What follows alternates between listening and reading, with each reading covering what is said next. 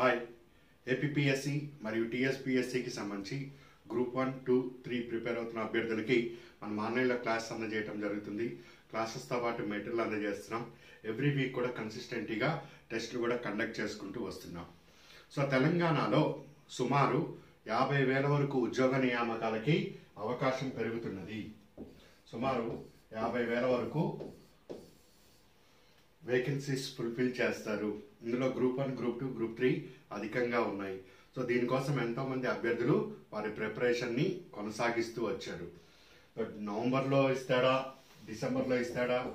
జనవరికి వెళ్తుందా? లేకపోతే ఫిబ్రవరి మార్చి ఏప్రిల్ అన్నది కొంచెం క్లారిటీ లేకపోయినా కానీ ఈసారి అయితే నోటిఫికేషన్ ఇవ్వవలసిందే అండి. తప్పనిసరిగా నోటిఫికేషన్ వస్తుంది. నోటిఫికేషన్ వచ్చిన తర్వాత ఎక్కువ సమయం ఉండదు. సో మీరు ఇప్పటి నుంచి ఎవరైతే సీరియస్గా ప్రిపేర్ అవుతున్న అభ్యర్థులు ఉన్నారో వాళ్ళు ప్రిపరేషన్ కొనసాగించవచ్చు. సో తప్పనిసరిగా నోటిఫికేషన్ అనేది ఇచ్చి తీరుతారు. ఒక ఆరు నెలల తర్వాత అయినా కానీ ఇచ్చి తీరుతారు. సో ఇప్పుడు మీరున్న స్టేజ్కి ఇప్పుడు మీరున్న స్టేజ్కి ఈ సమయాన్ని ఈ సిక్స్ మంత్స్ సమయాన్ని ప్రాపర్గా యూటిలైజ్ చేసుకుంటే వచ్చే నోటిఫికేషన్లో ఈ జోనల్ సిస్టంలో కూడా లోకల్ నైంటీ ఫైవ్ పర్సెంట్ అనే వచ్చింది కాబట్టి మంచి అవకాశాలు అన్నది ఉంటాయి. సీరియస్గా ప్రిపేర్ అవుతున్న అభ్యర్థులు ఎవరైతే ఉన్నారో వాళ్ళు వాళ్ళ ప్రిపరేషన్ని స్లోగా కొనసాగించడం మొదలు పెట్టండి.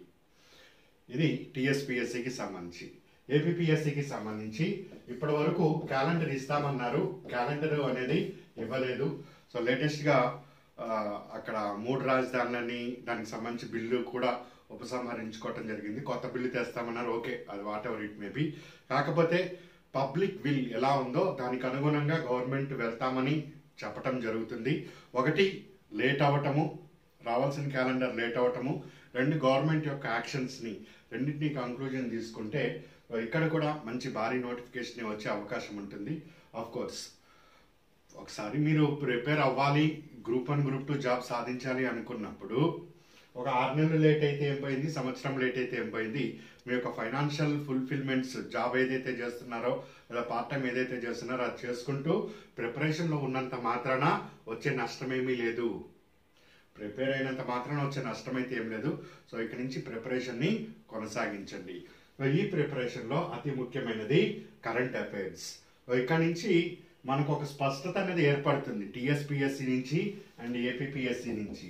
ఆ కారణము చేత ఒక సిక్స్ టు సెవెన్ మంత్స్కి సంబంధించి కరెంట్ రిలేటెడ్ అంశాల మీద పూర్తి పట్టు అనేది మనం సాధించాలి. ఆ క్రమంలోనే నేను మీకు ఏదైతే మ్యాగజిన్ అప్లోడ్ చేశానో ఆ మ్యాగజిన్లో అంశాలని వివరించుకుంటూ వస్తున్నాను.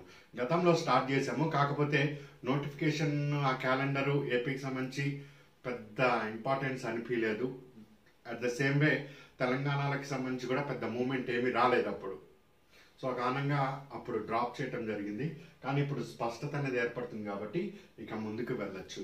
సో కరెంట్ అఫైర్స్ ప్రిపేర్ అవుతున్నప్పుడు ఒక సిస్టమేటిక్గా ముఖ్యమైన తేదీలు అవార్డులు ముఖ్యమైన గ్రంథాలు ముఖ్యమైన సూచికలు నివేదికలు వార్తల్లోని వ్యక్తులు ఎవరున్నారు?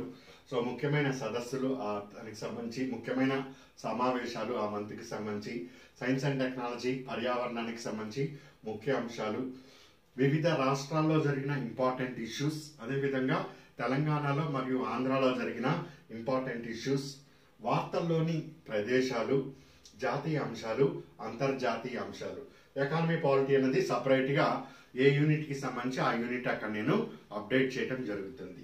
సో ఈ అంశాలు ఏదైతే నేను ఇక్కడ నీకు బోర్డు మీద రాసి చెప్తున్నానో ఒక క్లాస్కి సంబంధించి ఏదైనా ఒక క్లాస్ అనేది ఇలా నీ దగ్గరికి వస్తుంటే ఆ క్లాస్లో ఈ అంశాలన్నీ కూడా ఉంటాయి. సో కరెంట్ అఫైర్స్ అంటే కేవలం జాతీయ అంతర్జాతీయ వరకు మాత్రమే ప్రిపేర్ అయిపోయి ముందుకెళ్తున్న కొద్దీ అది వీక్ అయిపోతూ వస్తున్నది. సో అలా వీక్ కాకూడదు. మొత్తం హోలిస్టిక్గా ప్రిపేర్ అవ్వాలి. ఇట్లా ఒక క్లాస్ పట్టచ్చు రెండు క్లాసులు పట్టచ్చు మూడు క్లాసులు పట్టచ్చు నాలుగు పట్టచ్చు ఒక టెన్ క్లాసెస్ వరకు అయినా కానీ కరెంట్ అఫైర్స్ మీద మనకు క్లాసెస్ వస్తాయి. ఏది ఒక మంత్కి సంబంధించి. అదేవిధంగా ఒక క్లాస్ని నేను ఇక్కడి నుంచి ఇస్తున్నాను అంటే అక్టోబర్ వన్. అక్టోబర్ వన్ అంటే అక్టోబర్ మంత్కి సంబంధించి మ్యాగజిన్లో సంబంధించి కరెంట్ రిలేటెడ్ అంశాలు సెట్ అంతా వస్తుంది. ఈ సెట్ అంతా నీకు బోర్డు మీద ఏదైతే ఇచ్చానో ఆ సెట్ అంతా కూడా వస్తున్నది. సో ఈ రోజు ఈ క్లాస్లో నేను కొద్దిగా ముందుకు వెళ్ళొచ్చు. అప్పుడు అక్టోబర్ వన్ బై ఏ అని పెడతాను. నెక్స్ట్ క్లాస్ దీని కంటిన్యూషన్ ఏమైనా ఉంటే అక్టోబర్ వన్ బై బి అని పెడతాను. అక్టోబర్ వన్ బై సి అంటే హోలిస్టిక్గా అక్టోబర్ వన్ అంటే ఒక క్లాస్కి సంబంధించి ఈ పరిపూర్ణంగా ఈ అంశాలకి సంబంధించి అంశాలు వస్తాయి. సో నెక్స్ట్ ఇంకోటి తీసుకుంటాం. October two October two by A October two by B అట్లా అంటే మళ్ళీ దాని రిలేటెడ్ అంశాలన్నీ కూడా వస్తూ ఉంటాయి.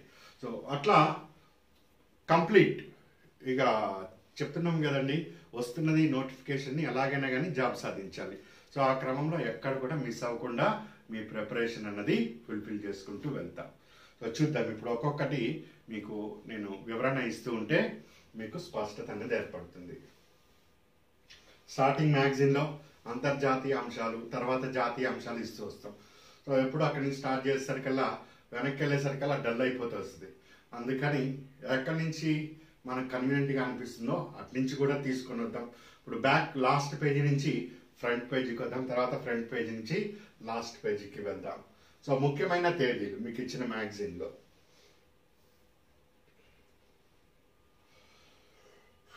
ముఖ్యమైన తేదీల్లో మీకు మ్యాగజైన్లో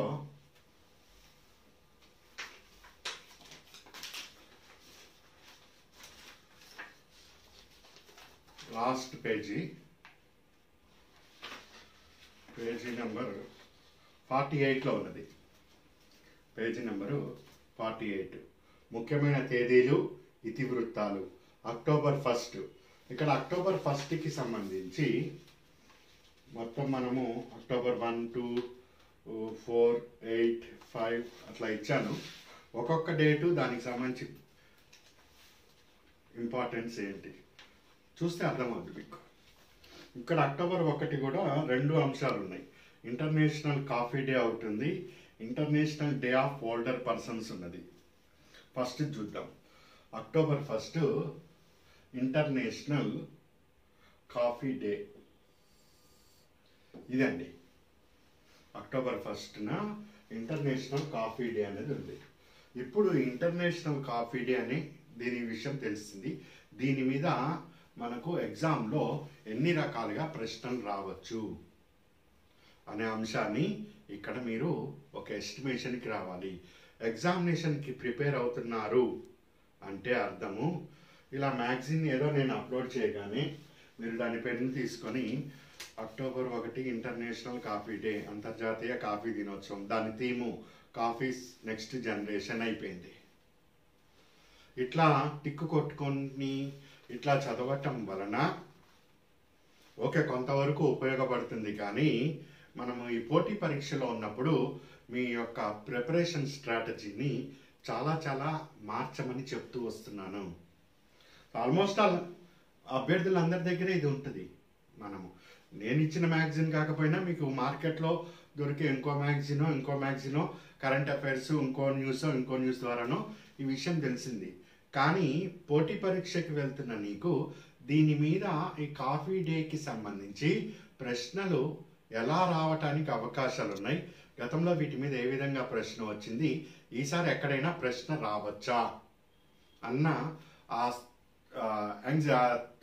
ఆలోచన ఏదైతే ఉంటుందో ఆ కసి ఏదైతే ఉంటుందో నీ ప్రిపరేషన్లో అది స్పష్టత రావాలి. సో ఇవన్నీ నేను చెప్పుకోవాలండి మీకు. నేను ఏదో ఇక్కడ పాఠము బోర్డు మీద చెప్పుకుంటూ వెళ్తే అది నార్మల్గా ఉంటుంది దానివల్ల పెద్ద ప్రయోజనం ఏం లేదు. నేను చెప్పినా చెప్పకపోయినా చదువుతావు చదవటం రాదా? డిగ్రీ పాస్ అయిన మీకు ఇక్కడ బోర్డు మీద ఉన్న చదవటం రాదా? అది కాదు ఇక్కడ నేను రాసింది నీకు ఎగ్జామ్ పాయింట్ ఆఫ్ వ్యూలో ఏ విధంగా నువ్వు దాన్ని తీసుకోవాలి అన్నది ఇక్కడ అతి ముఖ్యమైనది ఇక టీచర్గా చెప్పవలసిన బాధ్యత నాది. పోటీ పరీక్షకి ప్రిపేర్ అవుతున్న అభ్యర్థిగా ఇందులో ఉండే అర్థాన్ని గ్రహించాల్సిన బాధ్యత నీది.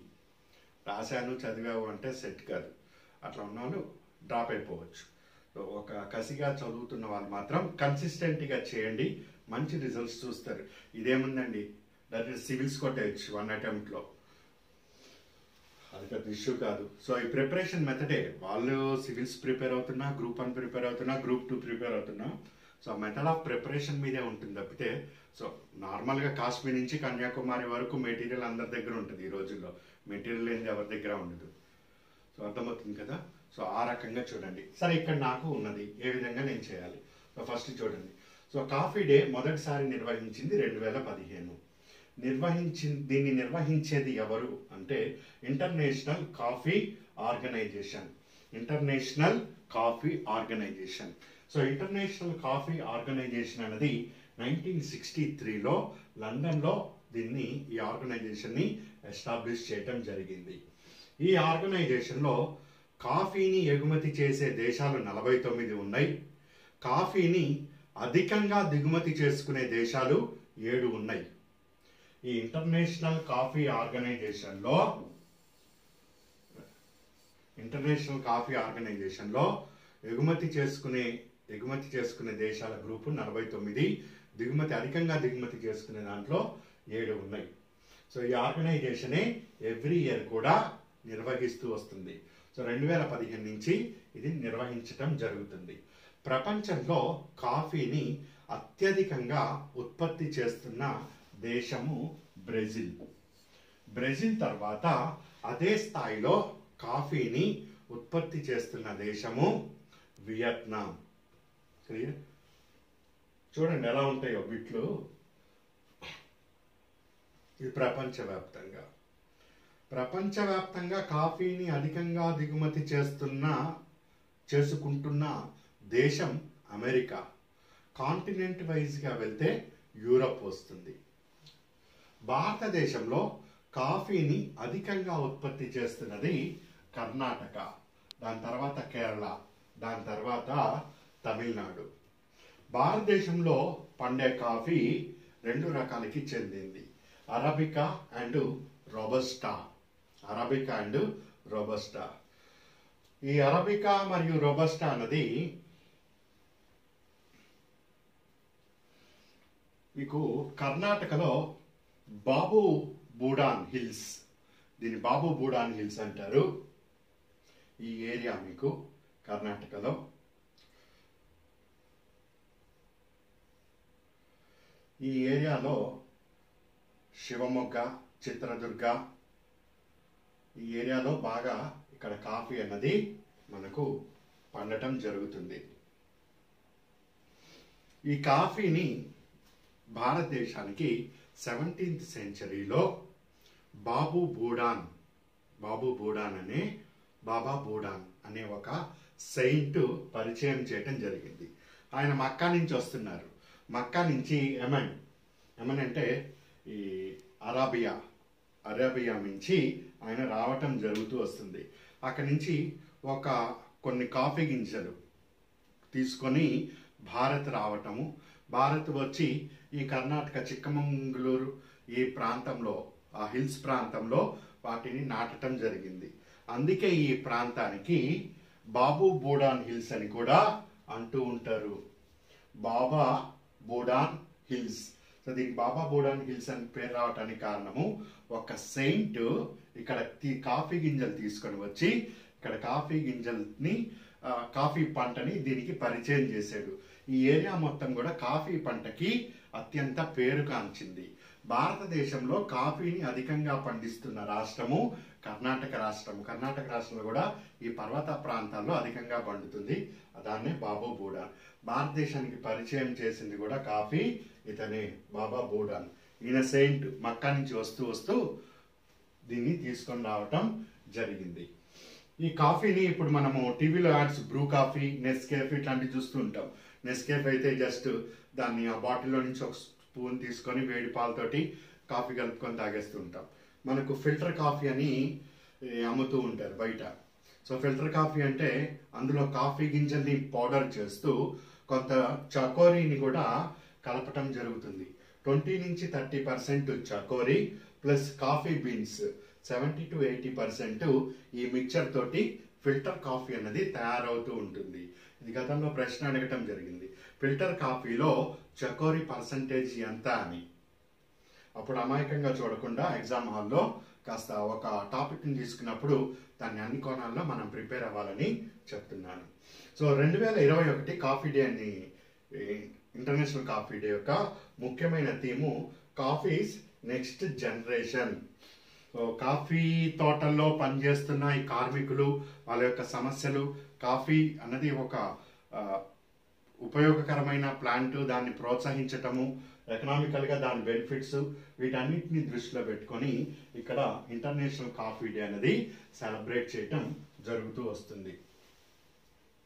ఇది ఇంటర్నేషనల్ కాఫీ ఆర్గనైజేషన్ యొక్క లోగో ఇవన్నీ ఇంపోర్టింగ్ కంట్రీస్ ఇవన్నీ కూడా ఎక్స్పోర్టింగ్ కంట్రీస్ సరే అంతా బాగుంది. ఇక్కడ మనకు ఉపయోగకరంది ఏంటి?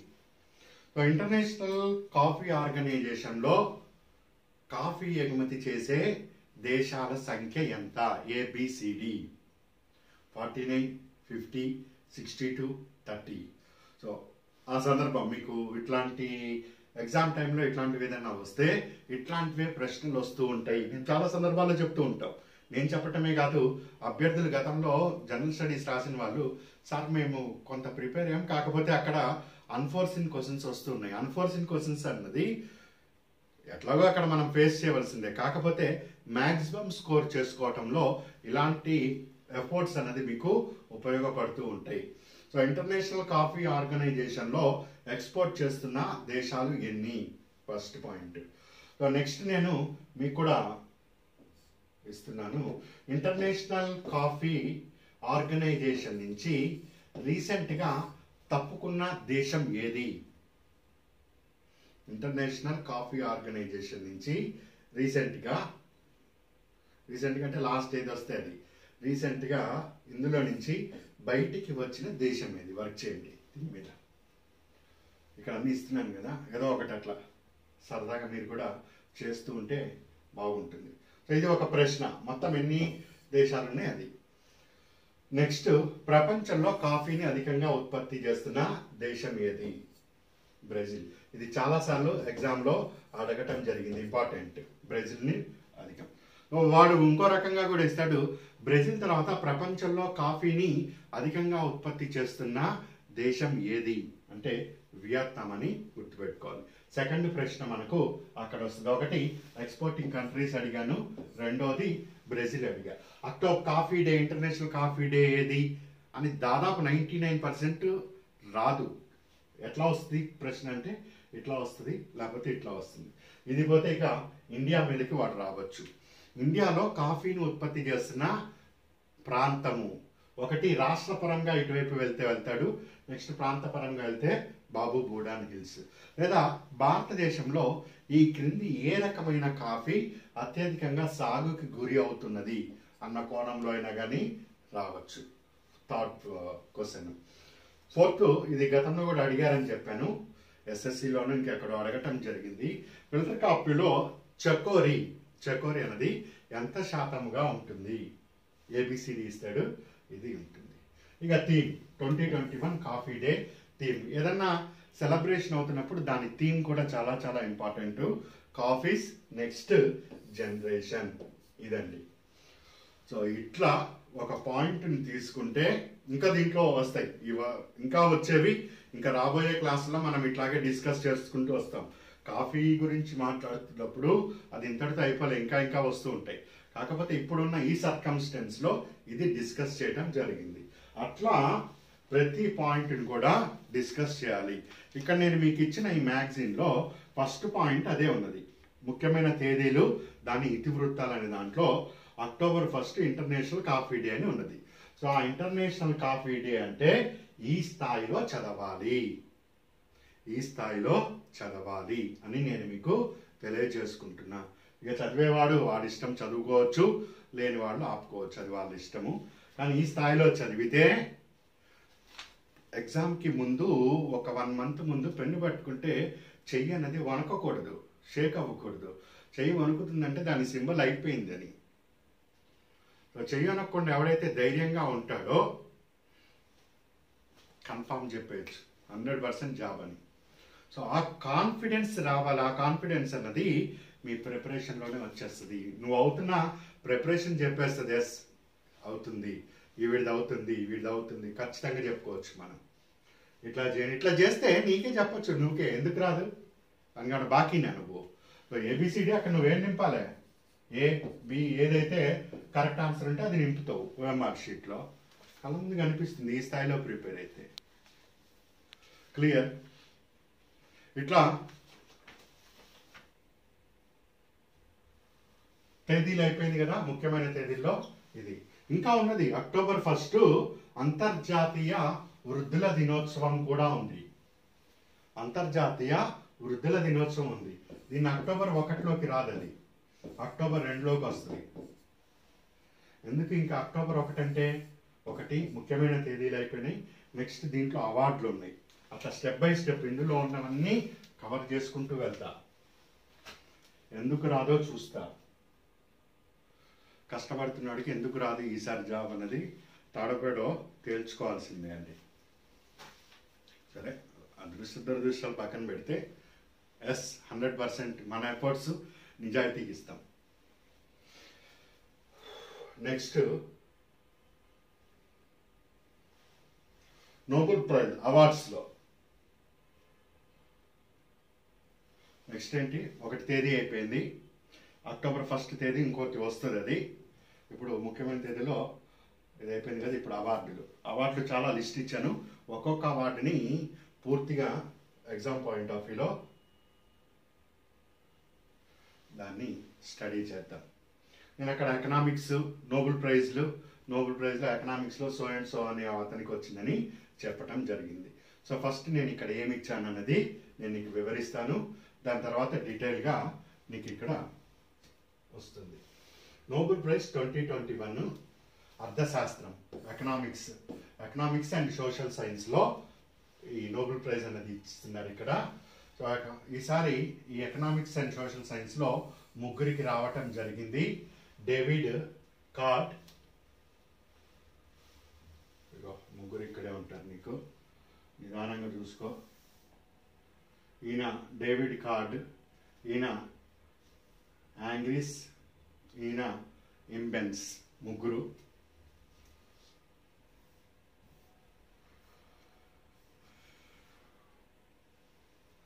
ముగ్గురికి నోబెల్ ప్రైజ్ రావటం జరిగింది. ఈ ముగ్గురులో డేవిడ్ కార్డ్ అని ఆయన లేబర్ ఎకనామిక్స్లో వర్క్ చేయటం ద్వారా రావటం జరిగింది. ఈ ఆంగ్లిస్ట్ అండ్ ఇంబెన్స్ అనే వాళ్ళు కాజ్ అండ్ ఎఫెక్ట్ దాని రిలేషన్షిప్ మెథడాలజీస్ మీద స్టడీ చేయటం వలన రావటం జరిగింది. ఇది ఇరవై ఇరవై ఒకటిలో అర్థశాస్త్రంలో నోబెల్ ప్రైజ్ వచ్చిన వాళ్ళు ముగ్గురు.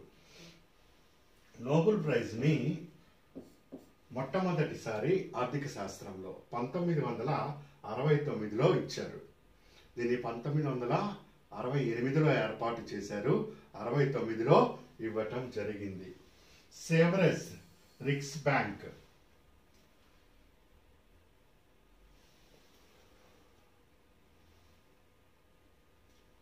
స్విస్ బ్యాంక్ అంటాం. సెంట్రల్ బ్యాంకు ఇది సెవరస్ బ్యాంక్ అంటే. ఈ బ్యాంకుని పదహారు వందల అరవై ఎనిమిదిలో ఏర్పాటు చేశాం. సో పదహారు వందల అరవై ఎనిమిదిలో ఏర్పాటు చేస్తే అది మూడు వందల సంవత్సరాల సెలబ్రేషన్ చేసుకుంది. ఎప్పుడు? నైన్టీన్ సిక్స్టీ ఎయిట్ పంతొమ్మిది వందల అరవై ఎనిమిదిలో. సో ఆ కారణము చేత ఆ కారణం చేత వీళ్ళు ఆర్థిక శాస్త్రంలో నైన్టీన్ సిక్స్టీ నైన్ నుంచి నోబెల్ ప్రైజ్ ఇవ్వటం జరుగుతూ వస్తుంది. సో ఫస్ట్ టైం ఇచ్చింది నైన్టీన్ సిక్స్టీ నైన్లో. ఈ సంవత్సరం ముగ్గురికి నోబెల్ ప్రైజ్ రావటం జరిగింది. భారతదేశానికి చెందిన ఆర్థిక శాస్త్రంలో నోబెల్ ప్రైజ్ అన్నది ఇప్పటి వరకు ఇద్దరు వ్యక్తులకు వచ్చిందండి. ఇద్దరు వ్యక్తులకి నోబెల్ ప్రైజ్ రావటం జరిగింది. ఒకళ్ళు అమర్త్య సేను వెల్ఫేర్ ఎకనామిక్స్ నైన్టీన్ నైన్టీ ఎయిట్లో వచ్చింది. రెండోది అభిజిత్ బెనర్జీ. రెండు వేల పంతొమ్మిది సంవత్సరంలో పేదరిక నిర్మూలన మీద అభిజిత్ బెనర్జీ ఈయన కూడా మన భారతీయుడే మహారాష్ట్రకి చెందిన ఆయన. మహారాష్ట్ర సెటిల్ అయ్యాడు భారతీయుడు. తర్వాత అక్కడి నుంచి అమెరికాలో సెటిల్ అవ్వటం జరిగింది. సో ఈ ఈస్టర్కి ఈ క్రీమర్ ఈ ముగ్గురికి కలిపి రెండు వేల పంతొమ్మిదిలో రావటం జరిగింది. అట్లా ఎంతమంది భారతీయులు ఆర్థిక శాస్త్రంలో నోబెల్ ప్రైజ్ పొందటం జరిగింది అంటే ఇద్దరు భారతీయులు నోబెల్ ప్రైజ్ పొందటం జరిగింది. వీళ్ళిద్దరూ భార్యాభర్తలే. వీళ్ళిద్దరూ భార్యాభర్తలే. నోబెల్ ప్రైజ్ అందుకున్న కపుల్స్. ఎప్పుడో మేడం క్యూరీ రేడి కెమిస్ట్రీలో రేడియో ధార్మికతని కనుగొనటం జరుగుతుంది వాళ్ళు. అప్పటి నుంచి కపుల్స్ ఎవరెవరికి వచ్చినాయని చూస్తే ఇట్లా భారతీయుడు ఈవిడ ఈయన ఈవిడ ఇద్దరు కలిపి కూడా ఇక్కడ నోబెల్ ప్రైజ్ ఆర్థిక శాస్త్రంలో మనకు ఇక్కడ లభించింది. సరే పాయింట్ ఇక్కడికి వస్తే ఈ నోబెల్ ప్రైజ్ ఎకనామిక్స్లో ఇరవై ఇరవై ఒకటిలో ఈ క్రింది వారిలో ఎవరికి లభించడం జరిగింది అని ఇస్తాడు? మనకు ఈ ముగ్గురిట్లో ఎవరిదైనా ఒక పేరు ఇచ్చేసేసి మిగిలినవి ఏ బిసిడి ఒకటి ఈ ముగ్గురిట్లో ఎవరిదైనా ఒక పేరు ఉంటుందండి మిగిలిన మూడు వేరే వాళ్ళ పేర్లు ఉండొచ్చు. లేదా ఆర్థిక శాస్త్రంలో ఎవరికి నోబెల్ ప్రైజ్ ఇరవై ఇరవై ఒకటిలో సరైంది కాదు ఇవ్వలేదు అని ఇంకోటి విధంగా వచ్చే అవకాశం ఉంటుంది. సో అట్లా ఈ పర్సన్స్ మీద పర్సన్స్ నోబెల్ ప్రైజ్ వచ్చిన పర్సన్స్ మీద ఒక ప్రశ్న వస్తుంది. Next their contribution. ఈ డేవిడ్ క్యాడ్ అనే ఆయన లేబర్ ఎకనామిక్స్ మీద రీసెర్చ్ చేయటం జరిగింది. దానికి ఆయనకి కాంట్రిబ్యూట్ చేశారు. ఈ లేబర్ ఎకనామిక్స్ అంటే ఇప్పుడు ఇక్కడ ఇంపార్టెంట్ పాయింట్ ఇది కూడా మనకు ఈ వేజ్ లేబర్ వేజెస్ అని మనము గతంలో కూడా చెప్పుకోవటం జరిగింది. సాధారణంగా ఏంటి? తీసేస్తాను. మనకు ఏ దేశంలో అయితే కనీస కూలీ మినిమం వేజ్ మినిమం వేజ్ ఇప్పుడు one fifty one eighty rupees ఎంత ఉన్నది? వన్ ఫిఫ్టీ రూపీస్ అనుకుందాం. మినిమం వేజెస్ పెంచితే వన్ ఫిఫ్టీ నుంచి టూ హండ్రెడ్ రూపీస్ అయితే మినిమం వేజెస్ పెరుగుతూ వస్తుంటే నిరుద్యోగిత పెరుగుతుంది. నిరుద్యోగిత పెరుగును.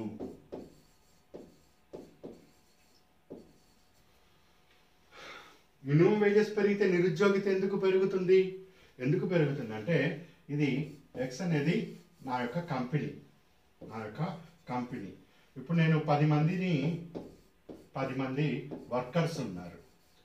సో ఈ పది మంది వర్కర్స్కి నేను ఇంటూ వన్ ఫిఫ్టీ రూపీస్ అని మైండ్లో ఉంటుంది. దానికి సరిపడే నేను రెవెన్యూ అలాట్ చేసుకొని సో ఇట్లా జీతాలు ఇచ్చుకుంటూ ఉంటా. సడన్గా కేంద్ర ప్రభుత్వము నువ్వు కనీస వేతనం రెండు వందలు ఇవ్వాలన్నారు అనుకోండి. సో నా మీద ఏ ఈ కంపెనీ నడుపుతున్న నా మీద ఆర్థిక భారం పడిపోతుంది. సో వెంటనే నేను ఏం చేస్తాను? ఈ పది మంది స్థానంలో ఎనిమిది మందిని మాత్రమే తీసుకోవటం జరుగుతుంది. ఎనిమిది మంది మాత్రమే నేను వర్క్లోకి తీసుకుంటాను. మిగిలిన ఇద్దరిని వద్దులేవయ్యా పోండి. వీళ్ళకి నేను ఇంకో రెండు వర్క్లు అలాట్ చేయటం జరుగుతూ వస్తుంది. ఈరోజు తెలంగాణలో చాలా పోస్టులు ఖాళీగా ఉన్నాయి. అన్ని జిల్లాల్లో. ఏం చేస్తారు? ఈ సెక్షన్లో చేయాల్సిన పని కూడా వేరే సెక్షన్లో ఇచ్చి చేయిస్తున్నారా లేదా? గవర్నమెంట్లో పోస్టులు ఖాళీ ఉన్నాయంటే ఆ పోస్ట్ ఖాళీగా ఉన్న పోస్ట్ యొక్క పని వేరే వాడు చేస్తున్నాడని అర్థం కదా? అట్లా ఈ పది మంది పని ఎనిమిది మంది చేస్తారని ఇద్దరు ఇంటికి పంపించేస్తూ ఉంటారు. ఇది general concept. So general concept ఏంటి? మినిమం వేజెస్ గవర్నమెంట్ పెంచుతున్న కొద్దీ నిరుద్యోగిత పెరుగుతుంది. అయితే మొట్టమొదటిసారిగా డేవిడ్ కార్డ్ అనే ఆయన లేదు ఇది తప్పు మినిమం వేజెస్ పెరుగుతూ ఉంటే ఉద్యోగిత అవకాశాలు కూడా పెరుగుతాయి. నిరుద్యోగిత తగ్గుతుంది ఉద్యోగ అవకాశాలు పెరుగుతాయి. ఉద్యోగ అవకాశాలు పెరుగుతాయి అని తెలియజేయటం జరిగింది. సో వలస కార్మికులు వలస కార్మికులు వారి యొక్క మినిమం వేజెస్ లేబర్ ఎకనామిక్స్కి సంబంధించి ఈయన పరిపూర్ణంగా వర్క్ చేయటం జరిగింది. అందుకే ఈయనకి నోబెల్ ప్రైజ్ ఇచ్చారు. ఇప్పుడు మనకు డౌట్ రావచ్చు. అదేంటండి? మినిమం వేజ్ పెరిగితే ఇప్పుడు కంపెనీ మీద భారం పెరుగుతుంది కదా? అంటే ఇక్కడ ఈయన చెప్పేది ఏమిటంటే నీకు ఎక్కువ డబ్బు నూట యాభై రూపాయల నుంచి రెండు వందల రూపాయలు ఇచ్చేసరికల్లా నీకు సఫిషియంట్ ఇన్కమ్ అనేది జనరేట్ అవుతుంది. దానివల్ల నువ్వు ఇంకా కొత్త స్కిల్స్ నేర్చుకుంటావు. యాభై రూపాయలకి సంబంధించి కొత్త స్కిల్ లేకపోతే కొత్త ఉత్సాహము ఏదో ఒకటి ఒక కాజ్ ఒక ఎఫెక్ట్ అనేది కనిపిస్తూ ఉంటుంది. దానివల్ల నువ్వు ఎక్కువగా ఉత్పత్తి చేయటం జరుగుతుంది. ప్రొడక్షన్ ప్రాసెస్లో మ్యానుఫ్యాక్చరింగ్ అని ఎక్కడైనా ప్రొడక్షన్ ప్రాసెస్లో అధికంగా పాల్గొంటావు. తద్వారా ఆర్థిక ఉన్నతి స్థితి అనేది పెరుగుతుంది. ఈరోజు అమెరికాలో విదేశాల నుంచి ఎక్కువ మైగ్రెంట్స్ వలస కార్మికులు మన రాష్ట్ర మన దేశంలోనే మైగ్రెంట్స్ ఎక్కువగా పెరుగుతున్నారు. మైగ్రెంట్స్ రావటం వలన ఆ దేశాల్లో నిరుద్యోగిత పెరుగుతుంది అనే స్టేట్మెంటు ఈయన తప్పు అని నిరూపించాడు. అమెరికాలో ఇండియా నుంచి వచ్చారు. ఇండియా నుంచి వెళ్ళటం జరిగింది. సో ఈయన కాంట్రిబ్యూట్ చేశాడు కదండి? ఈయన ఇండియా నుంచి అక్కడికి వలస వెళ్ళిన అతనే కదా. ఈయన వెళ్ళటం వలన అక్కడ ఆర్థిక వ్యవస్థ బాగుపడ్డదా? నాశనం అయిపోయిందా? బాగుపడ్డది. సత్యనారాయణలా వెళ్ళటం వలన ఆర్థిక వ్యవస్థ బాగుపడ్డదా? నష్టపోయిందా? బాగుపడ్డది. సుందర్ పిచాయ్ అక్కడికి వెళ్ళటం వలన బాగుపడిందా? నష్టపోయిందా? ఆర్థిక వ్యవస్థ బాగుపడ్డది. సో విదేశాల నుంచి ఇక్కడికి నైపుణ్యం గల వాళ్ళు వస్తారు. వీళ్ళ దగ్గర నుంచి మనం ఎంతో నైపుణ్యం నేర్చుకోవచ్చు. వీళ్ళ దగ్గర నుంచి మనం ఎంతో నైపుణ్యం నేర్చుకోవచ్చు. అట్లా వలస కార్మికులు ఎవరైతే వస్తున్నారో ఈ వలస కార్మికుల వలన నిరుద్యోగిత ఏమీ పెరగదు. ఇంకా కొత్తగా ఉద్యోగ అవకాశాలు సృష్టించబడతాయి. సుందర్ పిచాయ్ రావటం వలన ఎక్కువ విస్తరించింది. గూగుల్ కానీ వేరే వాళ్ళ సాఫ్ట్వేర్ కంపెనీస్ కానీ సో మైక్రోసాఫ్ట్ ఇవన్నీ కూడా ఈ అంతా బాగా వెళ్ళటానికి వలస నుంచి వచ్చిన వాళ్ళే కాంట్రిబ్యూషన్స్ లేదా అమెరికన్ ఎకానమీ చూసుకోండి. సో అక్కడ ఉండే వాళ్ళకి అక్కడ నిరుద్యోగం అంటే వాడు ఉద్యోగం చేయడానికి విల్లింగ్గా లేడు తప్పితే వీళ్ళు వెళ్ళటం వల్ల అక్కడ నిరుద్యోగం ఏర్పడలేదు. అమెరికా వాడు వాడు కూర్చొని తినటం అలవాటైంది. వాడు అక్కడైనా కూర్చొని తింటాడు ఇంకెక్కడైనా కూర్చొని తింటాడు. పని చేసేవాడు పని చేయాలి. వాడు పని చేయకపోవటం వల్ల వాడు నిరుద్యోగిగా ఉన్నాడు తప్పితే ఇతర దేశం నుంచి రావటం వల్ల అక్కడ నిరుద్యోగం ఏర్పడలేదని చెప్తున్నాడు గాడ్. సో వీళ్ళు కూడా అట్లాంటి వీళ్ళు కొన్ని కాజ్ అండ్ ఎఫెక్ట్ యొక్క రిలేషన్షిప్స్ మీద వీళ్ళు మెథడాలజికల్ రీసెర్చ్ చేయటం జరిగింది. సో ఈ కారణాల చేత ఇక్కడ వీళ్ళకి నోబెల్ ప్రైజ్ అనేది వచ్చింది. సరే మనకేమిటి ప్రశ్న అంటే ఈ కార్డ్కి ఏ దేంట్లో కాంట్రిబ్యూట్ చేయటం వల్ల నోబెల్ ప్రైజ్ ఇచ్చాడు అని మనల్ని ప్రశ్న అడిగితే లేబర్ ఎకనామిక్స్ లేబర్ ఎకనామిక్స్లో కాంట్రిబ్యూషన్స్ నెక్స్ట్ భారతదేశంలో ఎంతమందికి నోబెల్ ప్రైజ్ వచ్చింది ఇవి అడుగుతూ ఉంటారు. ఇది చాలాసార్లు అడిగారు అడుగుతూ ఉంటారు. జీకేలో కూడా. అది మీరు ఇక్కడ ఫైండ్ అవుట్ చేయొచ్చు. క్లియర్ అండి? ఇది అవార్డు అయిపోయింది. ఇప్పుడు నెక్స్ట్ గ్రంథాలు ఏ విధంగా ఉన్నాయి? సూచికలు ఏంటి అన్నీ ఇదంతా ఆర్డర్ అయిపోవాలి. ఇక్కడ పదకొండు వరకు కూడా అయిపోవాలి. ఎకానమీ అండ్ పాలిటీ అనేది సపరేట్గా అగ్రికల్చర్లో ఏం జరిగింది? బడ్జెట్లో కొత్తగా ఏమొచ్చిందో అది సపరేట్గా అందిస్తాను. ఈ లైన్ అంతా అయిపోవాలి. సో ఈ రోజుకి నేను క్లాస్ ఇక్కడ ఆపుతున్నాను సో ఇది అక్టోబర్ ఒకటి ఏ రేపటి క్లాస్ అన్నది దీని యొక్క కంటిన్యూషన్ ఉంటుంది. అది అక్టోబర్ వన్ బీగా వస్తుంది. ఇక్కడ నుంచి ఎంత దూరం వెళ్తే అంత. సో క్లియర్గా స్పష్టంగా మనము డిస్కస్ చేయాలి. ఏదో పైపైన చెప్పానంటే చెప్పాను అని డిస్కస్ కాకుండా నీట్గా అంత కష్టపడుతున్నప్పుడు దాని యొక్క ఫలితం అనేది ఉండాలి. ఓకే ఇట్లా మనము అన్ని మొత్తం కూడా ఆల్ ఇంపార్టెంట్ అన్నీ కూడా చేస్తాను. సో ఇక్కడ నుంచి ఒక సిక్స్ మంత్స్ టార్గెట్ పెట్టుకొని వర్క్ చేయండి. సో మంచి రిజల్ట్స్ అన్నది చూసుకుంటారు. సో ఏదైనా ఉంటే మళ్ళీ నేను మీకు కమ్యూనికేట్ చేస్తా. నెక్స్ట్ ఇంకో క్లాస్ తోటి మీట్ అవుతాం. Good luck.